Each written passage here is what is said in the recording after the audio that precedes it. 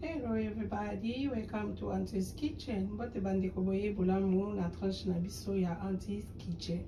Lelo tokosala présentation ya kwanga fait maison. Oyo mimpuka na biso nasombaki yango na fiesta eh, na ba store na biso awa.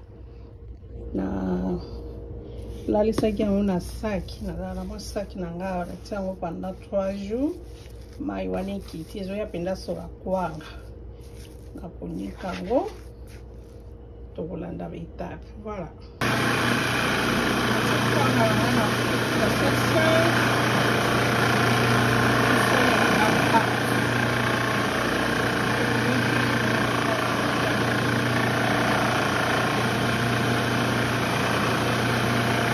na makasa makemba nakangela kwanga na nga mbala liboso nasala makasa makemba normalement nasalelaka na nga bapapier euh, aluminium kua nalingi sage mpe natie na aluminium naza mpe na mwa makasa ya bambu donc tokomeka kokanga na oyo na masala ya makasa te me nazomeka ndelo ozonye makwanga na nga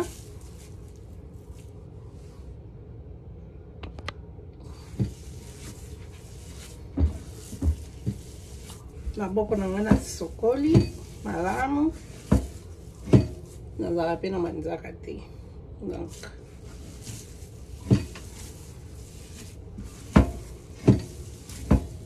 Voilà, tout à l'heure. Voilà. nakangi bakwanga na nga na sachet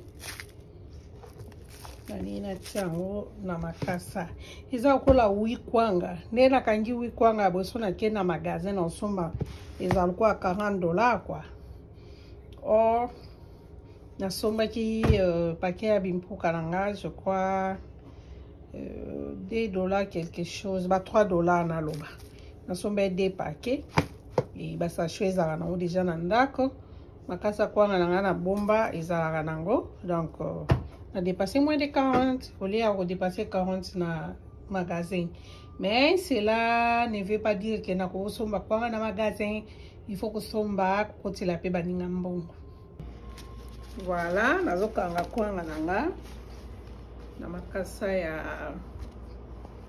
ya banane makasa makemba voilà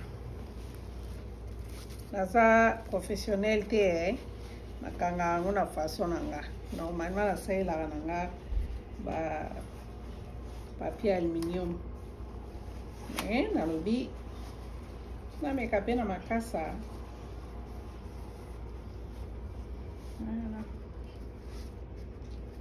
namekaka kaka me nalamba na nga kwanga na nga ya eh, moko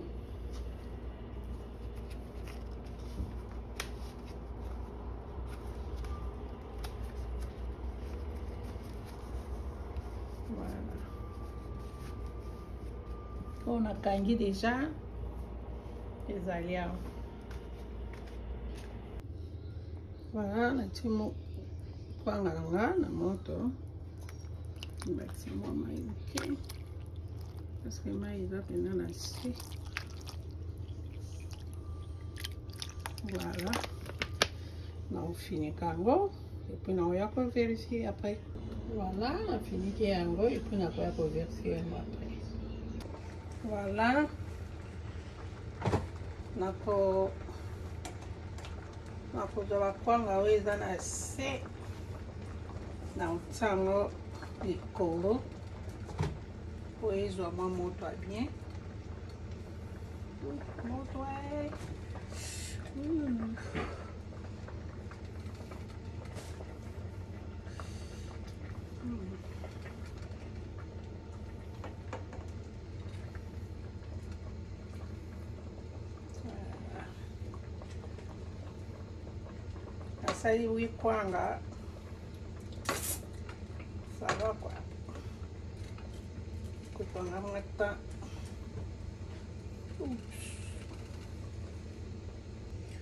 voilà bakwanga oyo ezalaki na se na matisi yango likolo mpe ezalaki likolo natia yango na se nakotika yango etoka lisusu mwa moke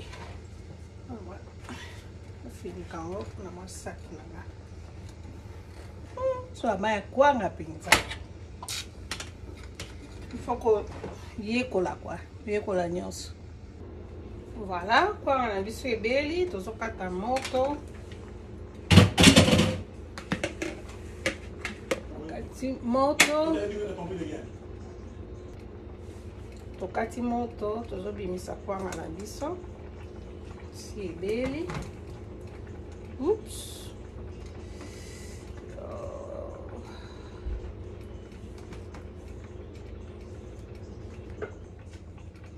moto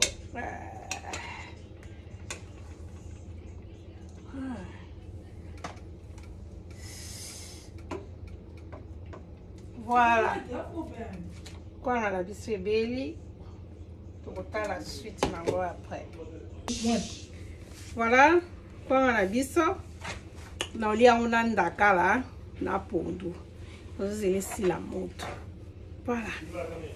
À nous revoir. Voilà. Kwanga na biso ebelaki. Nazoli yango na pondu ndakala. Voilà. Il y a des fois, il faut osala yo moko eloko soki oyebi quoi. Ya mo nasalaka mais so fatigue na somi na store. Bon appétit.